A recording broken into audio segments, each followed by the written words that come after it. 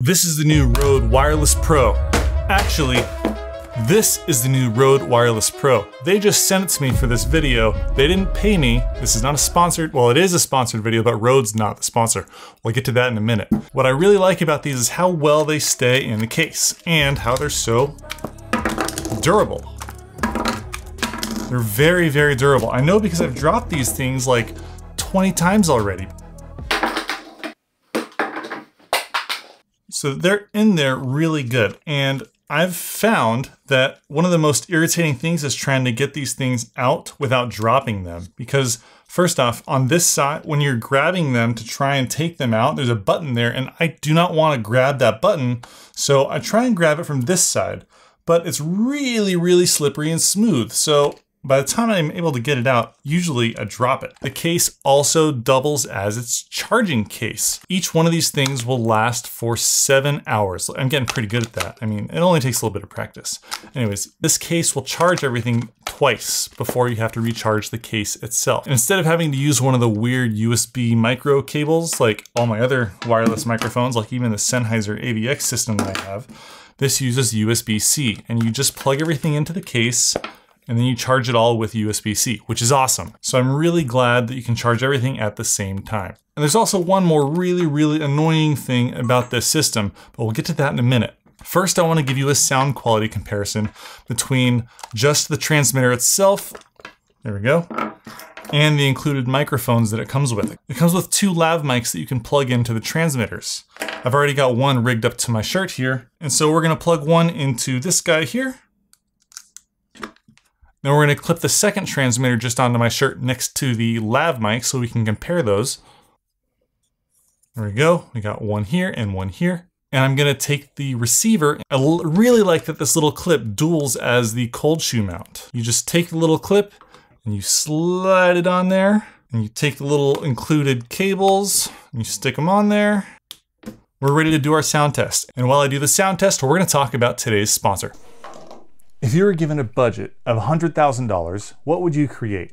Well, Artlist just launched their biggest creators fund ever. It's $100,000. It's called the Artlist 100K Fund. And they're gonna give it to just one lucky creator. All you have to do is post a video on your socials, tag artlist.io, and use the hashtag Artlist100kFund. Submissions already started on September 12th and they will close on October 12th. It doesn't matter what kind of creator you are, or what kind of content you want to create, or what your plan is for that money, as long as it has to do with creating. You can build a ridiculous YouTube studio and become a tech reviewer like me. Or maybe you want to make a movie, or your best friend is a producer and you want to make a sweet music video with them. Whatever it is, just get your idea posted. If you want more information about this fund, there's a link to it in the description of this video. In addition to that, I want to talk about a couple of changes that have recently happened to Artlist's platform that you should be aware of. As you know, most licensing platforms do require you to add your social channel to their platform so they can prevent your channel from getting copyright strikes. Well, I imagine Artlist was getting a lot of people just using their music without buying a license. So they did add the ability to add your channel to your Artlist account, and you should do that now. I noticed I was able to add up to three channels on my account. Go check out the new section to add your social channels or the videos that you're creating for other people on your Artlist account now. This only applies to videos created after September 6th, when that change took place. Now I'm using the Sennheiser MKE2, but it works also with the Rode transmitter. I really do like that you can use whatever your favorite lav is with these little transmitters. And these things are baller. Let me explain. So for the remainder of this video, I've got just the plain Rode Wireless Pro transmitter without an extra wireless lav. It's using the onboard lav. I'm not gonna go over every single little feature that these things have because this video would be probably 40 minutes. It'd be really, really boring. I'm just gonna tell you about the most exciting things and probably the biggest frustration that I have with them. Other than, of course, that they're really slippery and hard to get out of the case. It's not that big of a deal though. My biggest frustration with them is although this works as both the charging cable and the data cable, so you can pull files off of the transmitters by just plugging them in to charge them and then plugging this into your laptop and you can just drag the files right off of them. You cannot delete files off of the transmitters without downloading the Rode Central app thing that they have you install in order to configure them.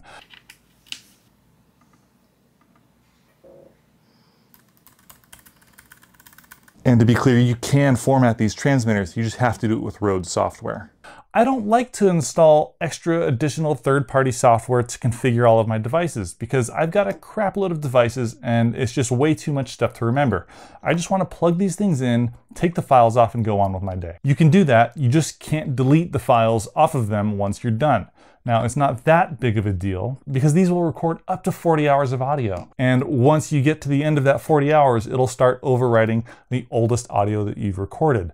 So it's not like you're gonna lose anything, but it's just gonna slow me down. I would love to be able to just delete crap off of these once I'm done with them. But now let's talk about some of the really cool stuff. These things have 32-bit floating point audio built into them on the transmitters. They don't transmit 32-bit floating point audio, they transmit 24-bit audio. So on the A7S III right now, if I talk way too loud into these transmitters, it's gonna clip that audio. But on the transmitters, if I'm recording, I can recover that audio because, well, let me give you an example.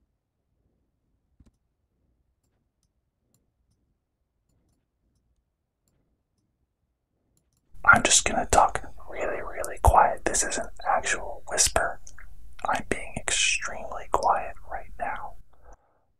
Or I can just scream as loud as I possibly can. I can get all that audio back from the transmitters because with 32-bit floating point audio, you can recover the loudest noises or the quietest noises. You just got to just drag them a little bit. And the thing about the built-in little microphone on the transmitter itself is you don't actually have to start recording for it to transmit sound to the receiver. It turns on as soon as you take it out of the little charging case, and then as long as you've got the, the receiver plugged into your camera, you'll be recording audio onto the actual camera itself hitting that button to start record just starts recording that 32-bit audio onto the transmitter itself. And the audio quality on this thing is fantastic. I do think that the shiny little glossy transmitter looks kind of goofy, but it's pretty popular now. A lot of people are using it. You've probably seen it all over TikTok if you're into that. It also comes with a cable so you can connect the receiver to your iPhone. And I like that both receivers go into the transmitter. So if you wanted to just get this little kit to do some quick interviews with people, you can do that. Now, if you've made it this far into the video, I appreciate you. And so what I'm doing is I'm just gonna give away this preset that I usually sell for $10. And that's how I make all my audio sound amazing, kind of like what I showed you in that sponsored test message. You just have to download it. There's a link to it. You can find it, let's call it the Tommy Special. There's a link to it in the description of this video. Use it with Adobe Audition, and then it'll make your audio go from sounding like this to sounding like this. That's really all you need to know about these things, and I think they're really exciting. You can use these if you're an amateur, or you can configure these if you're a pro. You can make it so you have a safety track on the left channel, or you can make it so only the left channel goes for one transmitter and the right channel goes for the other transmitter. So you can even plug in three microphones. You can use the receiver as an additional microphone. You can plug a microphone into it and then use the USB-C out. These things are insanely configurable, and I'm not going to go over all the options. All I went over is the things that make this interesting to me. And if you want to pick up your own Rode Wireless Pro. There's a link to where you can get it in the description of this video. It's only $400. I had to spend thousands of dollars to get a decent rig to set up 32-bit floating point audio. But now you can get it for 400 bucks from Rode and you get two transmitters. You can also plug in other microphones like I've got the Rode Wireless Go 2 here. Now I've got a little wireless 32-bit floating point audio shotgun microphone setup and this sounds fantastic. So if you want to pick up the Rode Wireless Pro, there's a link to where you can get it in the description of this video. And again, if you've got an idea that's worth $100,000, send it over to Artlist. And again, thank you Artlist for sponsoring this video and thank you Rode for sending out the Wireless Pro. It's actually a fantastic tool that I will be integrating into my regular video workflow.